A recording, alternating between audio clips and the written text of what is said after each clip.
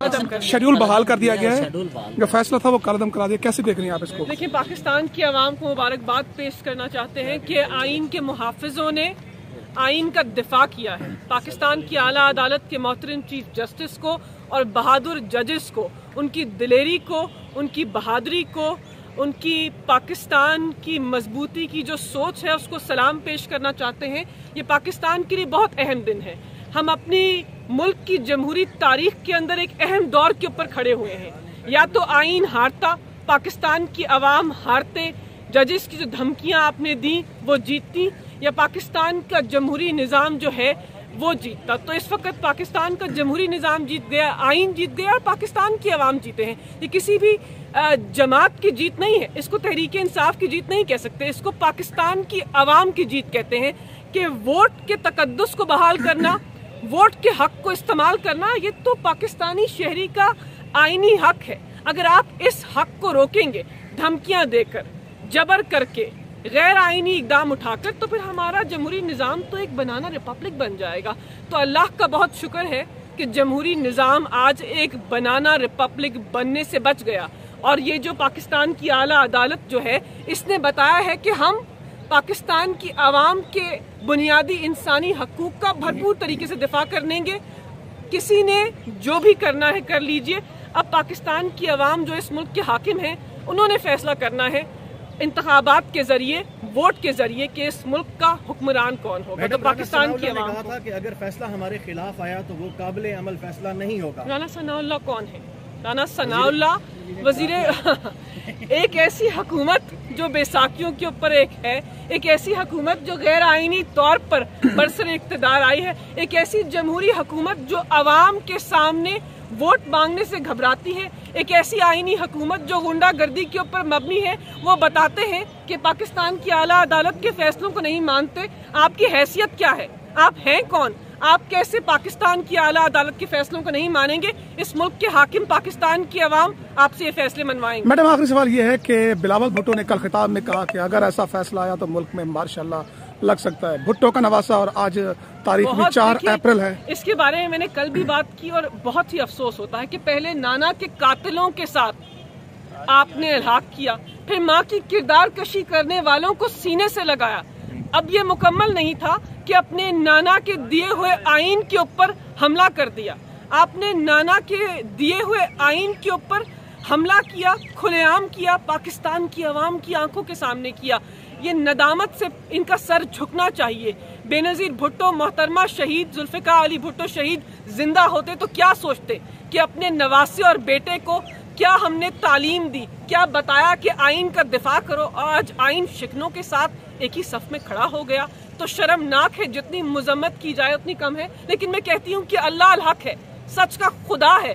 आज आया हो गए इनके आमिराना चेहरे। ये जब इकतदार में आए थे ना हमें हटाकर कहते थे कि आइन और कानून की बालादस्ती के लिए इकतदार में आए हैं।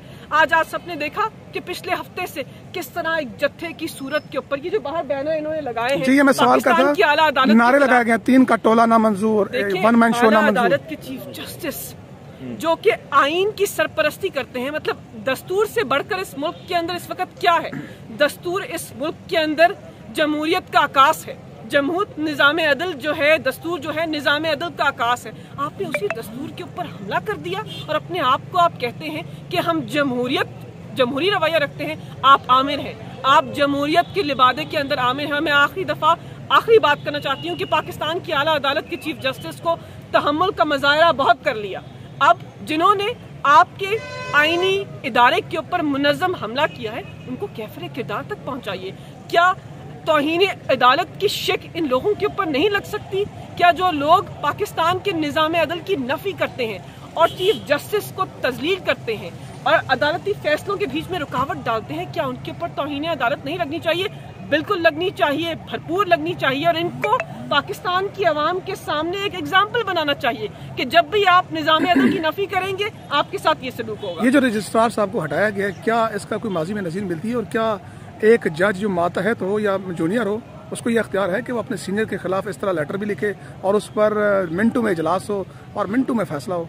देखिए बहुत सारी चीज़ें इस स्याह दौर में ऐसी हुई हैं जो पहले कभी पाकिस्तान के जमहूरी निज़ाम में नहीं हुई। एक जज साहब हैं, काबिल एहतराम हैं, मुस्तकबिल के चीफ जस्टिस हैं और पूरी आवाम जो है, उनको इंसाफ का मरकज, मुस्तकबिल के इंसाफ का मरकज समझती है। उन्होंने खतूत लिख दिए, उन्होंने अपना एक इस्तेकाक तो नहीं, अपना एक फैसला इख्तियार किया।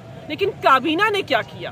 काबीना ने उसी फैसले को घंट, कुछ घंटों के अंदर एक इजलास बुला के उस फैसले के ऊपर मोहर लगा दी। आप नहीं जानते कि सुप्रीम कोर्ट रूल का रूल बारह क्या कहता है कि किसके पास इख्तियार है इन लोगों को खारिज करने का, किसके पास इख्तियार है रजिस्ट्रार को सस्पेंड करने का? तो आप आईनी इदारे के मदे मुकाबल आ गए।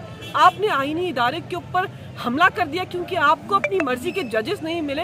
इसकी जितनी मजम्मत की जाए, उतनी कम है, लेकिन शुक्र है कि सुप्रीम कोर्ट ने और आला अदालत के चीफ जस्टिस ने इन सारे हमलों के बावजूद बुरबारी से, इस्तेकाम से और बहुत ही तहमुल से आईने पाकिस्तान का और पाकिस्तान के जमहूरी निज़ाम का दिफा किया है। आप सबको मुबारकबाद पेश करती हूँ और पाकिस्तान के नौजवानों को मुबारकबाद पेश करती हूँ कि एक नवीद है। एक उम्मीद है कि आप आपका जमहूरी निज़ाम जो है वो सही सिमत में जाएगा।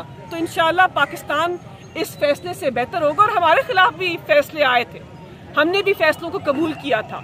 इस मुल्क के हर शहरी के ऊपर इस आला अदालत का फैसला चाहे वो आपको पसंद आए या ना पसंद आए आपके ऊपर वो फैसला जो है आपको उसको कबूल करना पड़ता है। वो फैसला आपके ऊपर लाजिम होता है। आपके ऊपर ये आपकी ये ख्वाहिश के ऊपर या आपकी चॉइस के ऊपर नहीं होता कि ये फैसला मुझे काबिल कबूल है ये नहीं है, फैसला आया है। सर को झुकाइए, जमहूरी रवैया दिखाइए। हम जानते हैं कि आप आमिर हैं। कोशिश कीजिए जमहूरी रवैया दिखाने के लिए। सर को झुकाइए, फैसले को तस्लीम कीजिए।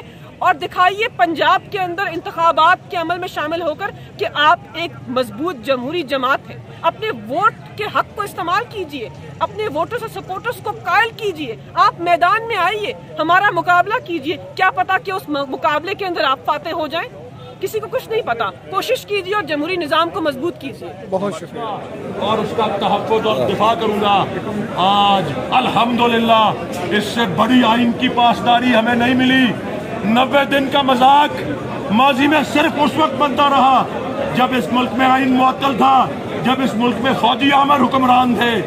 आइन के होते हुए नब्बे दिन से भागना आइन से गद्दारी और आइन से बगावत के मुतरद है, जिसके ऊपर आज सुप्रीम कोर्ट ने भी मोहर शब्द कर दी है कि इस नब्बे दिन से कोई फरार नहीं होगा। ये नब्बे दिन हमारे आइन की डिक्टेशन है और हमारी अदालत उजमा का फैसला है। ये नब्बे दिन लग के नब्बे दिन नहीं है जो दफन हो गए हैं। क्या बात। और उसका तहफ़ और दिफा करूँगा।